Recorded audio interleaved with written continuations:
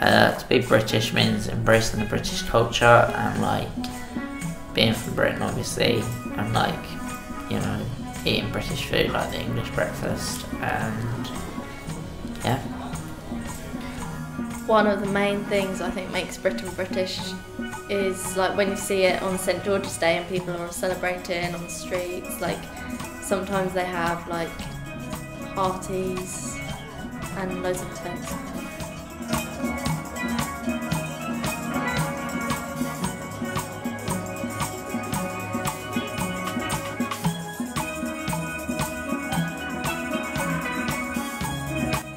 Britain is British because um, because of the way the society is made up and how diverse um, the country is. It's not just about British people, it's about everyone being embraced in one culture.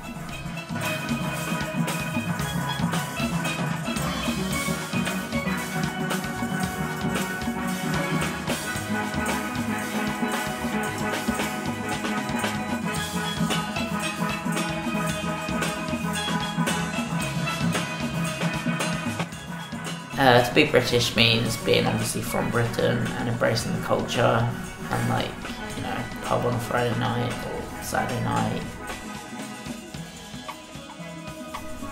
Iconically British things are like uh, Big Ben, so like the architecture.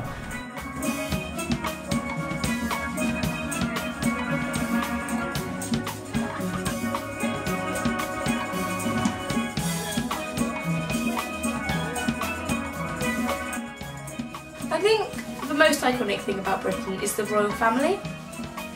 They are probably the backbone of our tourist uh, market.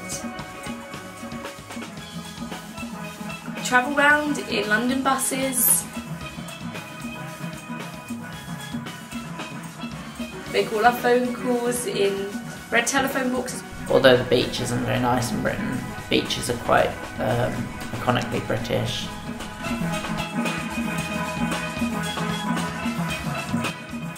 What is iconically British is the weather.